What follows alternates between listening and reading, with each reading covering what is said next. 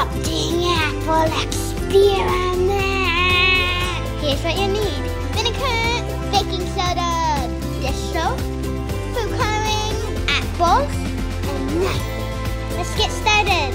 Step one, cut the core out of the apples. Be careful, have a grown up do it. Step two, add the baking soda inside the apple. Step three, add some food coloring in each apple. Step four, add the vinegar. Whoa, so cool! This is so fun. Thanks for watching. Don't forget to subscribe.